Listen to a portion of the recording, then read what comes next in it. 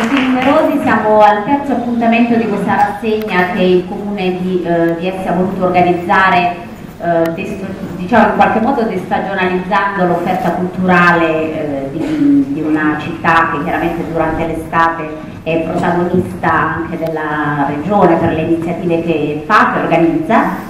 E, mh, mm, dopo i due appuntamenti precedenti, oggi una giornata molto speciale perché abbiamo il piacere eh, di avere ehm, una, una, personalità veramente del nostro paese. E per la sua presenza qui devo ringraziare il comune di Vieste nella eh, persona del sindaco Nobiletti, l'assessore alla cultura Starace, per l'ospitalità Mauro Palma e il teatro e tutto lo staff dell'associazione Nuova di Amazon, quindi Maria Candela, Pietro Loconte tutti coloro che lavorano dietro le quinte, non è facile organizzare eventi come questi. Do la parola al sindaco per un breve saluto. Sì, allora, buongiorno a tutti, eh, ringrazio a tutti di essere presenti qui stamattina. Ringrazio anche l'autorità presente, so, c'è il prefetto, sta, sta per rientrare insieme al, al, comandante provinciale dei carabinieri e tutte le altre forze eh, dell'ordine che sono qui stamattina. Di solito eh, non faccio interventi durante questo tipo di manifestazioni perché eh, lascio spazio agli artisti e in questo caso al, al Genò, il maestro Genò e eh, faccio questo intervento proprio perché alla luce anche dell'ospite prestigioso che abbiamo stamattina il procuratore Gratteri e anche in considerazione di quello che è successo eh, nei giorni scorsi ho sentito il bisogno di eh, parlare ai miei concittadini. Eh, lo so, noi stiamo eh, per l'ennesima volta eh, abbiamo assistito a questo fatto di sangue che sussegue a, una, a un altro fatto, un altro episodio successo a settembre. So che è difficile, però eh, non dobbiamo perdere assolutamente la speranza. E questo eh, ve lo dico perché anche nel, se, se, ricordate, nel 2008, negli anni tra il 2008 e il 2011, abbiamo vissuto dei momenti simili, forse anche peggiori. Avevamo attentati tutte le sere, ci sono stati degli omicidi, sembra un po' di rivivere eh, quegli anni. Ma in quegli anni, lo dico perché ne ho fatto parte e mi sento ancora di farne parte, un gruppo di cittadini ha eh, fatto nascere l'associazione antirachet. Ed è proprio questo, la, la, la lotta alla mafia non può essere relegata, non può essere affidata solamente alle istituzioni le istituzioni intese in stretto senso, cioè mi riferisco alle forze dell'ordine e solo alla magistratura. La lotta alla mafia la dobbiamo fare tutti, tutti i cittadini. Quando riusciremo, tutti quanti, nel nostro piccolo, che può essere un discorso culturale, cioè di insegnare ai propri figli come bisogna comportarsi nella vita, oppure di non scendere a patti con il delinquente di turno, o collaborare, chi ha visto collaborare, chi sa parlare, quando riusciremo a trasmettere questo messaggio culturale, allora sì che potremo finalmente sconfiggere la mafia. E, naturalmente, approfitto che c'è il dottor Grattieri, la nostra mafia si connuda per essere molto simile all'andrangheta calabrese. E eh, quello che è mancato negli anni scorsi e che in questo, in questo momento sia con la nascita dell'associazione anti-racket sia con l'attività che sta svolgendo, che sta svolgendo eh, questa amministrazione è quella di portare proprio eh, la, uh, il nostro fenomeno, la nostra mafia a, a, diventi una questione di livello nazionale. Solo così riusciremo ad avere la giusta attenzione e in questo senso stiamo procedendo unitamente al prefetto di Foggia a sollecitare un, una maggiore presenza sul territorio delle forze dell'ordine e soprattutto a un salto di qualità nell'attività di intelligence. Però volevo ricordare che solo attraverso l'unione di tutti, solo attraverso la, la, collaborazione attiva di tutta la città e di tutte le genti del, del Gargano, solo così riusciremo a sconfiggere la mafia. E io sono sicuro di questo Sono sicuro che a breve, a breve avremo, le avremo le risposte a cui, eh, cui tutti stanno aspettando e sono sicuro che tutti insieme riusciremo a sconfiggere una volta per sempre la mafia. Grazie.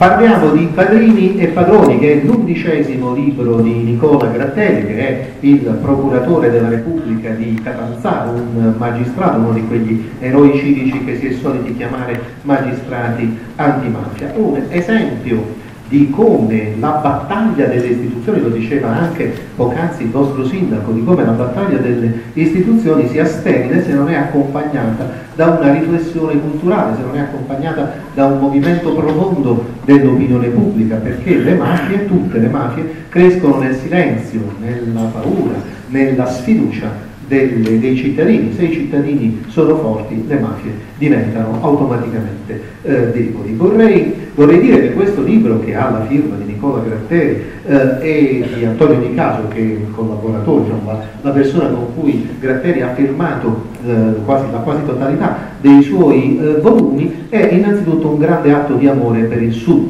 l'atto d'amore di un calabrese per la Calabria e per il Mezzogiorno e lo dico perché molto spesso anche dalle nostre parti c'è l'equivoco che denunciare l'infiltrazione mafiosa, parlare del pericolo mafioso sia quasi una diffamazione, sia quasi un, eh, uno sminuire, un eh, rendere più debole, eh, meno orgogliosa l'appartenenza meridionale. È vero esattamente il contrario, i nemici del mezzogiorno, i nemici del sud, i nemici delle nostre eh, tradizioni sono i mafiosi, non coloro che li eh, combattono. Parleremo, penso, dottor Berteri, eh, anche fra poco del tema delle, de, della, mafia, della quarta mafia, come viene chiamata, cioè della mafia eh, galganica, però io vorrei partire dall'andrangheta che è stato il nemico che lei ha combattuto eh, con maggior vigore nel corso della sua esperienza. L'andrangheta che rispetto alle, eh, alla mafia, alla camorra, alle altre tristemente note forme di criminalità organizzata è forse la più misteriosa, le manca anche quella narrazione, no? non c'è la piovra eh, o gomorra della drangheta. Perché? Perché è più oscura. Ma intanto è una, è una mafia che ha saputo bene rimanere sotto traccia, eh, perché la filosofia dell'andrangheta è stata sempre quella di trovare un punto di contatto con una delle istituzioni. Ha ucciso quando era assolutamente necessario uccidere, ovviamente nel corso della sua storia degli errori li ha fatti, e l'errore più macroscopico è, stato, è stata la strage di Duisburg, dove sono state uccise nel 2007 sei persone. Quello è stato un errore, ma si trattava di una faida, non di una strategia criminale.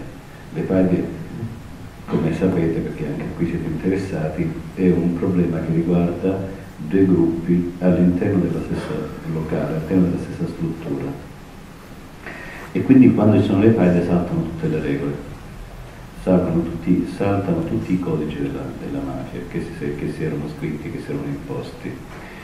E l'andrangheta, cioè, noi per scrivere, eh, arrivo alla risposta, eh, noi abbiamo scritto questo libro perché in quelli precedenti noi affermavamo che le mafie nascono con l'unità d'Italia, però non riuscivamo dal punto di vista scientifico a trovare il riscontro documentale.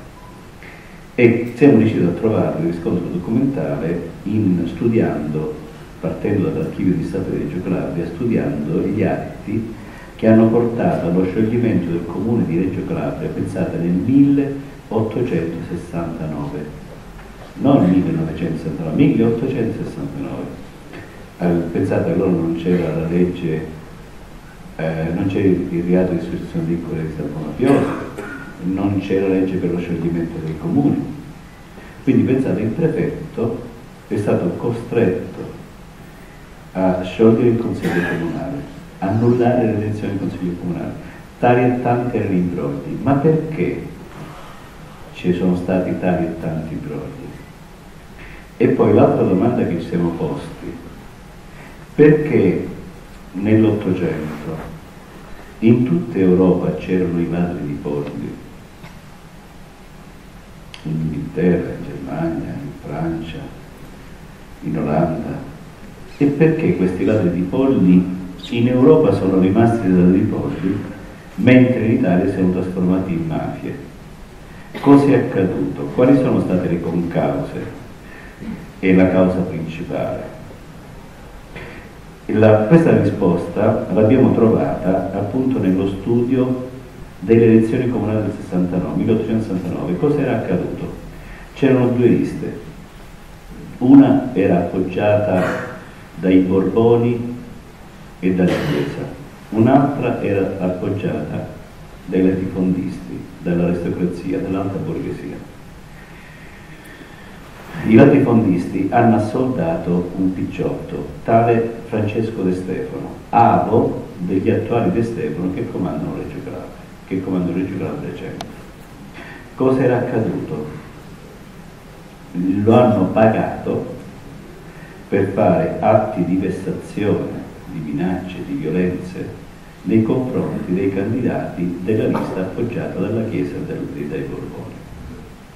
Sono tali, tali, tali e tanti questi brogli, coinvolgendo anche il questore dell'epoca, che eh, come arrestava, ha fatto ricarcerazioni preventive mirate di persone che sapeva votare per la lista appoggiata dalla Chiesa del Borbone. A quel punto è così evidenti i brogli, le vessazioni, le minacce, gli attentati, che il prefetto è stato costretto a sciogliere le elezioni. Allora, se voi pensate, l'aristocrazia, il latifondista, ha dato legittimazione alla picciotteria, cioè li ha messi su un piedistallo, gli, gli, gli ha dato il pedigree che gli mancava. Quando nel latifondo questi picciotti rubavano quattro mucche, il Massaro, il Gabellotto, sarebbe l'attuale amministratore delegato di un'azienda, anziché rivolgersi a, eh, ai, ai reali carabinieri per contrastare, per vedere di capire chi aveva rubato questi, questi, questi vitelli, si rivolgeva al picciotto. Il, in una sorta di recita e di mediazione, il picciotto gli faceva trovare tre mucche e una se la mangiavano. In questo gioco, in questo teatrino, ci avevano guadagnato tutti, perché il latifondista piange con un occhio perché ha perso solo una mucca. Il Massaro, il Gabellotto ha, fatto, eh, ha recuperato un po' come credibilità, come immagine, il Picciotto ci ha guadagnato perché si è mangiato una mucca, ma nello stesso tempo ha, ha, ha innestato un rapporto, una relazione con, con col Massaro e quindi con il diffondista, quindi sempre più questo riconoscimento. È un crescendo, perché se voi pensate, quindi l'aristocrazia, il latifondista partorisce un mostro, cioè partorisce la picciotteria, quella che poi diventerà. Questo mostro, questo figlio mostro nato, a distanza di un secolo, esattamente negli anni Ottanta, incomincia con la stagione dei sequestri di persona a sequestrare appartenenti alla classe aristocratica, appartenenti al latifondo, quindi il figlio mostro partorito mangia la mamma che lo ha partorito e i latifondisti sono stati costretti a svendere latifondi, i farmacisti a svendere le farmacie, mandare i figli all'università da Roma in su, svendere quello che potevano per evitare di essere poi sequestrati e si sono andati trapiantati in, nel Lazio, in Toscana, in Emilia Romagna eh, per sfuggire ai sequestri di.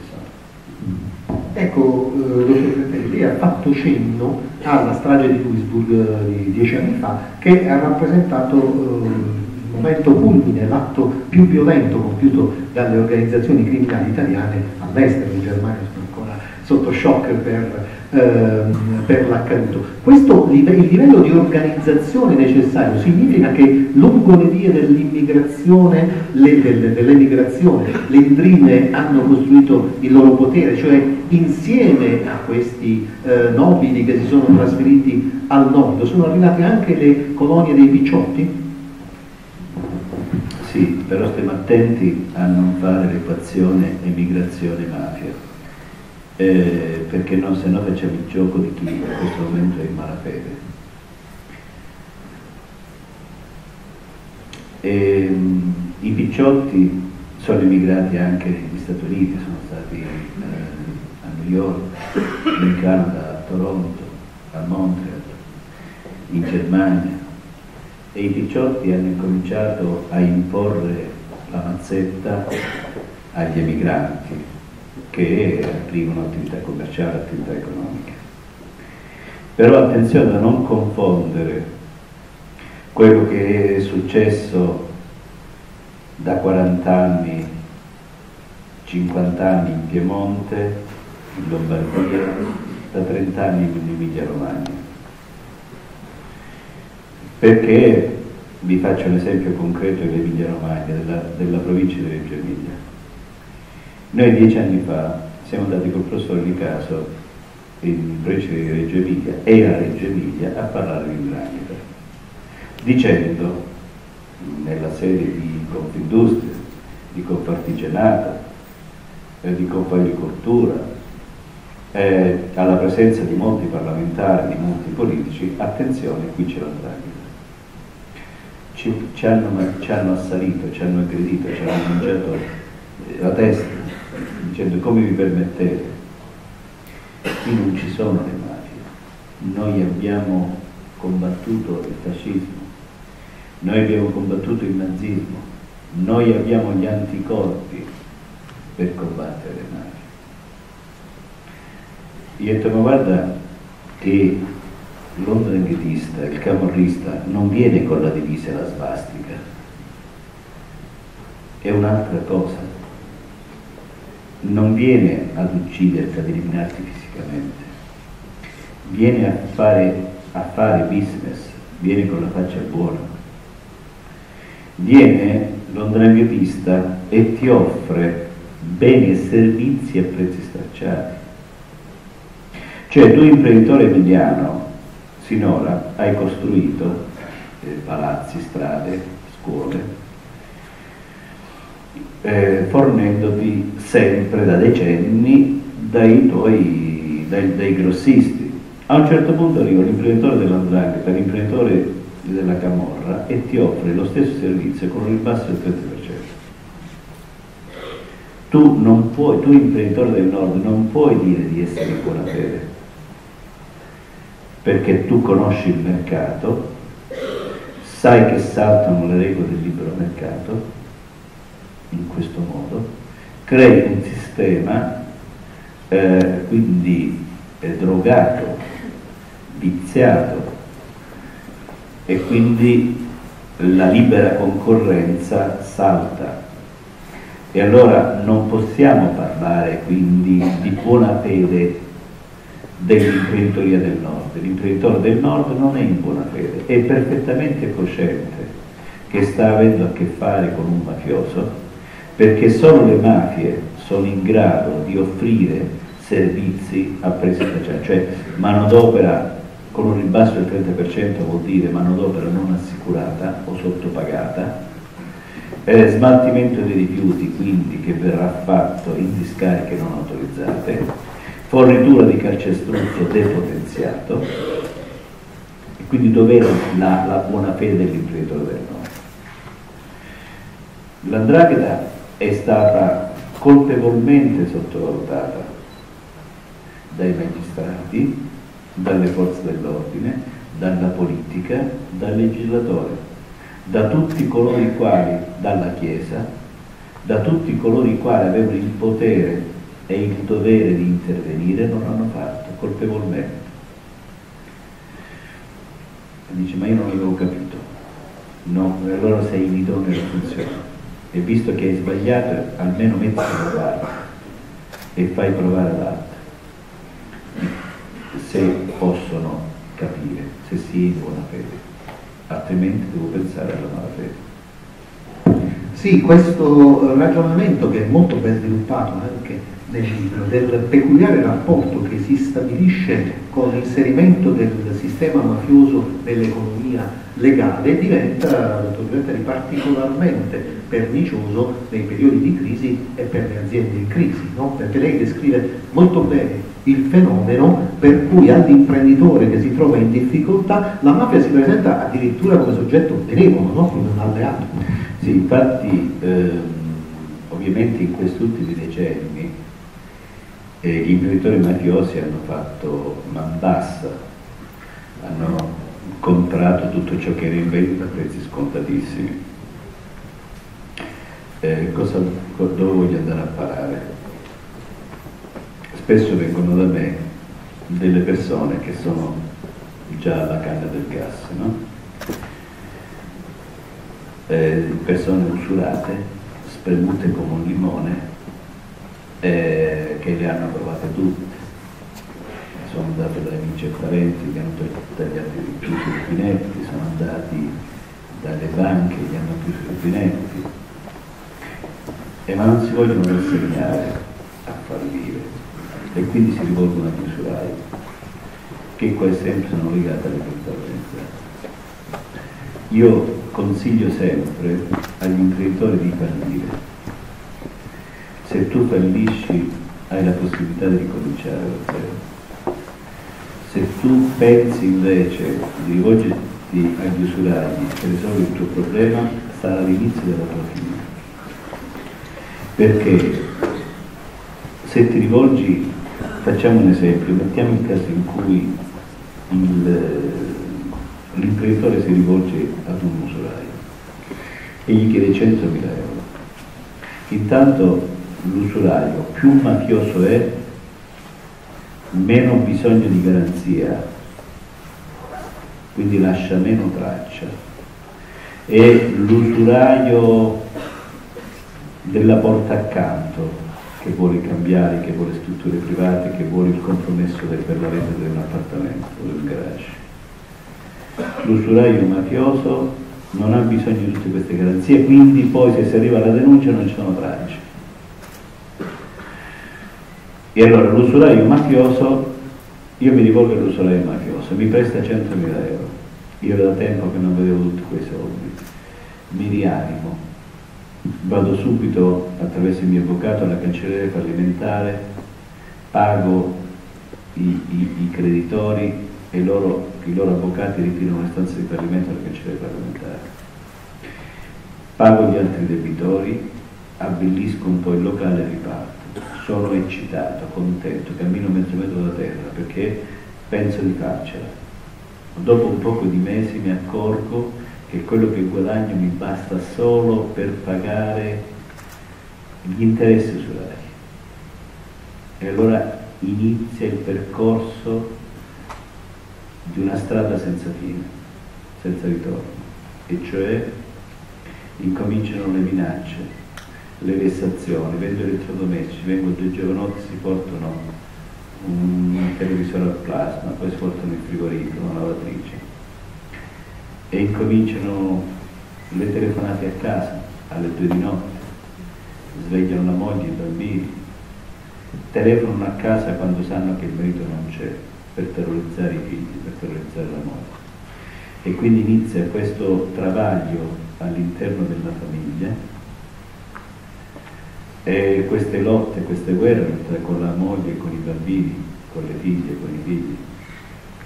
E quindi si incrina il rapporto al punto che finisce la, non, dico, non solo l'amore o il bene, ma addirittura un rapporto di disistima, perché il padre è come un pugile suonato,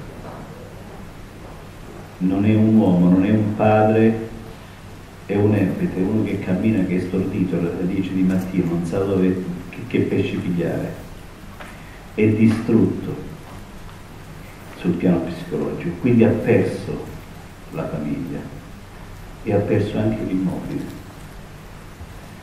perché questo immobile gli sarà rilevato, sarà venduto ad un prestanome eh, di un andranghetista, di un camorrista, eh, di uno del Foggiano e spesso voi vedete l'ex proprietario che lavora nel negozio come dipendente. Quella è la, la controfirma del rapporto usurario. Quindi voi immaginate che livello di umiliazione vivrà quest'uomo per il resto della sua vita. Quindi rivolgersi agli usurai non conviene. E, e, e allora bisogna stare attenti a prevenire questi dati. E quindi bisogna sempre, continuamente non chiudersi, consigliarsi, aprirsi, parlare, rivolgersi alle forze dell'ordine, non stare mai soli, parlare, stare in silenzio, stare muti e tenersi tutto dentro non serve, questo non serve mai in genere per nessuna cosa. Bisogna sempre aprirsi, consigliarsi, farsi coraggio assieme, mai stare da soli. Sì, credo che, non so se anche voi avete avuto dei brividi nell'ascoltare il racconto di questa discesa agli inferi, eh, credo che si debba, sia doveroso, far notare che a volte la spinta per questa discesa agli inferi, non sempre consapevole, viene proprio dal sistema del credito, abbiamo avuto più di una vicenda, parlo di cose che tutti voi conoscete benissimo, di persone che a un certo punto si sono trovate repentinamente espulse dal meccanismo del credito legale e quindi eh, sono andate con maggiore facilità. Però il consiglio del dottor Gratteri, posso assicurare, è davvero l'unica strada da seguire e in generale rispetto a quando si viene sfiorati dal contatto mafioso, la cosa migliore è parlare. Io approfitto di questo eh, di questo tema per chiederle un parere. So che lei, essendo rigoroso, non parla mai per sentito dire, parla solo delle cose che conosce anche per esperienza diretta, però penso di poterle chiedere un giudizio su quella che viene chiamata eh, la quarta mafia, no? la mafia pugliese ed in particolare la mafia del nord della Puglia, le cose a cui faceva riferimento il sindaco. Che fenomeno è e quanto è pericoloso? Io non sono un esperto di della mafia pugliese, però per quello che sono state le mie indagini, il processo di inquinamento di, di accelerazione purtroppo lo si è avuto anche con il supercarcere di Trani e di Bari. Io ricordo, decenni fa, molti indranghetisti erano detenuti a Trani e in quel carcere l'andrangheta ha dato le regole per creare eh, la Serra Unita. Se voi andate a studiare i due fenomeni vedete che le regole sono uguali. E quindi c'è stato questo ulteriore processo di inquinamento. Qui in provincia di Foggia, per quello che sono le mie letture, i miei studi, ma ripeto non sono un esperto, e quindi non, non mi prendete per oro colato di quello che sto dicendo, c'è una mafia molto forte, molto violenta. Forse è la più violenta di tutta la regione. E secondo me se ne parla poco. Eh, se se ne parla poco è un problema. Quando non si parla, quando non si scrive, eh, non eh, non si prendono provvedimenti. Cioè la mia storia di 30 anni di magistrato eh, mi porta a dire che il potere politico, il governo, i governi si muovono per un territorio solo quando, almeno per due o tre giorni, la notizia deve campeggiare sul, sulle prime pagine dei due o tre quotidiani nazionali o quando c'è un minuto e mezzo al TG1, altrimenti nessuno si muove. Quindi è importante, se voi capite che c'è un, io non è che voglio fare il capopopolo, ma se voi capite che c'è un problema, questo problema va denunciare. Quindi intanto vi dico di guardare, di studiare il comportamento di carabinieri, poliziotti, finanzieri. Cosa voglio dire? Io invito sempre a denunciare. Voi dovete avere fiducia nelle forze dell'ordine. Non c'è scampo, non c'è alternativa. Dice mi rivolgo al mafioso X, Y Z per risolvere il problema. No, diventerete schiavi di quel sistema. Voi dovete avere fiducia nelle forze dell'ordine. Il 99% degli uomini delle forze dell'ordine, la maggistratura sono persone oneste e fedeli. Ovviamente ci sono i corrotti, ci sono stati, ci sono e ci saranno nella, nella magistratura, nei carabinieri, nella polizia e nella finanza, ma sono fenomeni molto rari. Però basta che sia un corrotto uno su cento, quell'uno neutralizza il lavoro degli altri 99 e torniamo come credibilità indietro di dieci anni sul territorio. Quindi purtroppo sono cose molto tristi, sono cose devastanti che ci turbano tantissimo e ci caricano come le sveglie però, a scoiarlo vivo senza anestesia poi. Però bisogna denunciare, ma non così vado e denuncio, no? Perché voi quando andate a denunciare mettete la vostra vita nelle nostre mani. Quindi quando io vado nelle scuole di polizia, quando vado alla scuola interforze per spiegare le tecniche di indagine, parlare di mafia, parlare di... Io parlo sempre, mi dedico uno spazio, oltre che parlare delle tecniche di indagine, del codice di procedura penale, del codice penale, voglio parlare dieci minuti di deontologia. E dico sempre ai carabinieri, ai poliziotti, ai finanzieri, alla polizia penitenziaria, eh, quelli che erano fino a poco giorni fa eh, i forestali, dico attenzione, voi non solo dovete essere onesti, ma anche apparire tali, la gente si deve fidare di voi. Cioè il carabiniere sbirro 24 ore al giorno. Non esiste che il tempo libero per il carabiniere. Non esiste che finisci di lavorare e poi se ne vai fa quello che vuole, no? Perché tu non conosci tutti, ma tutti conoscono te. Quindi anche quando ti vai a mangiare la pizza, come ti fai in bagno, la gente ti studia e allora devi stare attento, anche nella vita privata. Allora sta a noi uomini istituzione far vincere il problema. Io ho il problema contrario, dietro la mia porta ogni mattina sono 20-30 persone che vengono a denunciare e io devo convincentare, c'è la mia segretaria, c'è la mia scorta che eh, ogni fanno degli orari che so, dalle 8 di mattina alle 10 oppure dalle, dalle 11 alle 15, 10 minuti di tempo ogni persona che viene a denunciare. Quindi poi smisto come un vigile urbano in un incrocio, questa notizia diamo alla polizia, questa ai carabinieri e, e, e a fianco in un'altra stanza c'è il colonnello dei carabinieri, c'è il colonnello della Guardia di Finanza, c'è il commissario a cui la gente che non vuole denunciare vuole solo dare informazioni anonime. E quindi siccome la polizia giudiziaria può avere informatori se ne vanno nella stanza al fianco e questi si confessano. Cioè mettono la loro vita nelle mani del colonnello dei carabinieri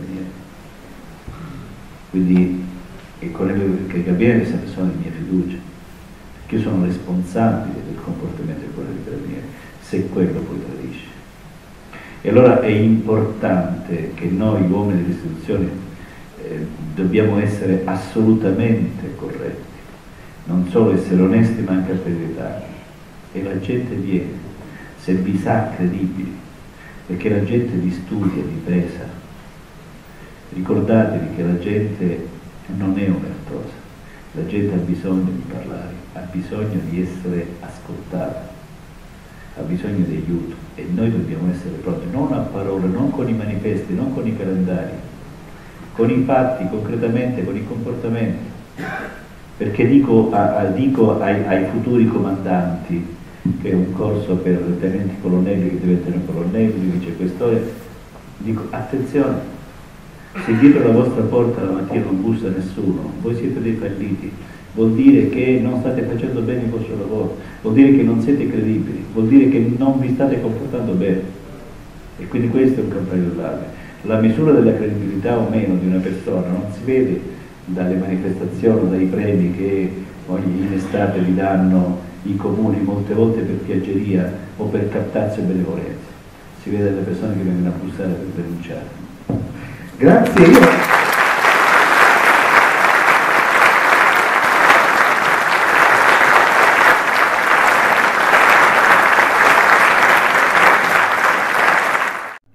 mia posso aggiungere solo una cosa, i fatti, la storia eh, di quello che accade in questa provincia dimostrano che queste, alle posizioni dei cittadini, alle denunce, non segue il nulla, seguono delle indagini accurate, dei processi, delle sentenze, perché poi la legalità si difende, credo che eh, il dottor Gatteri sarà d'accordo come si difende quando si dimostra ai cittadini l'effettività della legge, il fatto che poi lo Stato, i poteri pubblici intervengono. Mi pare che in Capitanata succeda con buona frequenza e questo è un ulteriore motivo, un ulteriore incoraggiamento a denunciare. Abbiamo pochissimi minuti, dottor Gatteri, perché Massimiliano Genù deve eh, deliziare i nostri spettatori. Io voglio chiederle cortesemente in due minuti, siccome lei presiede un organismo che è stato nominato dal precedente governo alla guida di un organismo per formulare suggerimenti e proposte su come migliorare la nostra attrezzatura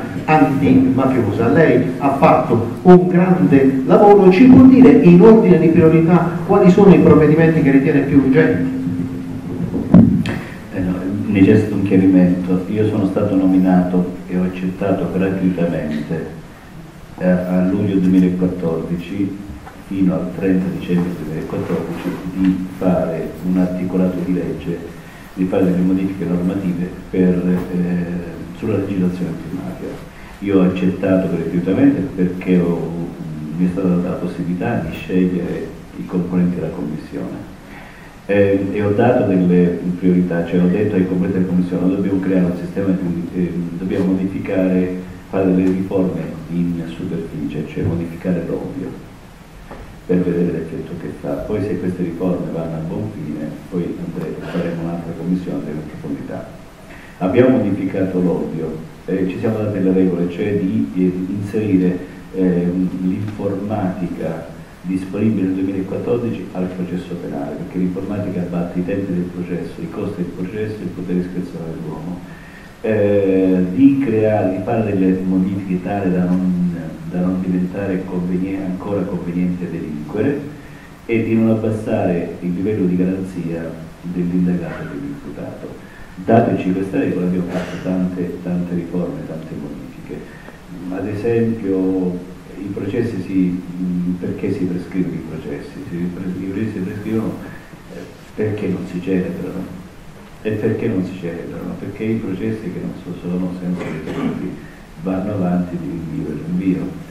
Eh, faccio l'esempio, l'esempio più, più ovvio, è quello quando un componente del collegio viene trasferito da da Reggio Calabria o da Foggia a Milano, il processo ricomincia da capo. Quindi se noi abbiamo già ascoltato 40 testimoni e dobbiamo risentire questi testimoni, quindi a parte i costi che da Milano deve scendere a Foggia, eh, il testimone, quindi albergo, ristorante, aereo o treno, e poi eh, eh, il tempo passa. Allora noi abbiamo pensato alla videoregistrazione, cioè registrare, eh, filmare la, il video di questa persona, che, del testimone che noi ascoltiamo, il testi, uno dei tre giudici che ha preso il posto del trasferito va e si vede il video e il processo va avanti. Abbiamo pensato alla videoconferenza eh, per i detenuti alta sicurezza e media sicurezza. Eh, con questo vuol dire che i processi iniziano puntualmente alle 9, non bisogna aspettare il furgone che magari nel si è rotto per, per strada, eh, oppure quando il processo da, si, si, si, si, celebra a Catania, a Palermo e i detenuti a Tormezzo, deve partire un furgone da Tormezzo all'aeroporto all di Venezia o di Verona, poi sull'aereo 5 uomini della polizia giudiziaria lo accompagnano a Catania, poi un altro furgone da Catania lo porta al carcere di Bicocca, da Bicocca lo porta il giorno dopo al tribunale di Piazza Verga a Catania. In questo voi immaginate quanti costi, il rischio di evasione e quando 30-40 detenuti stavano nella stessa gabbia e tra di loro fanno accordi e mandano anche messaggi di morte certe volte con qualche avvocato infedele. Può anche succedere questo. E allora noi abbiamo pensato alla videoconferenza per tutta questa tipologia di, di, di fatti reali. Allora con la videoconferenza noi avremmo il risparmio di 10.000 uomini della polizia penitenziaria ogni giorno sono impegnati per traduzione e trasferimento, 10.000. Quindi questi 10.000 uomini potremmo utilizzare eh, per fare trattamento nelle carceri. Eh, risparmieremmo 70 milioni di euro l'anno. Voi immaginate con 70 milioni di euro l'anno quanti cancellieri, segretari potremmo assumere, quanti uomini di polizia penitenziaria potremmo assumere. Questi sono solo due articoli del codice di procedura penale che abbiamo modificato. In tutto ne abbiamo modificato 150. Pensate quante cose potevano fare. Purtroppo la storia ci insegna, qualche modifica è passata alla Camera, ora è ferma al Senato, perché la storia ci insegna che intanto in Parlamento ne sono le maggioranze forti per far passare queste cose ovvie, banali, ovvie. E la storia ci insegna cos'altro? Che chiunque ha il potere non vuole un sistema giudiziario forte, perché il manovratore non vuole essere controllato. Questo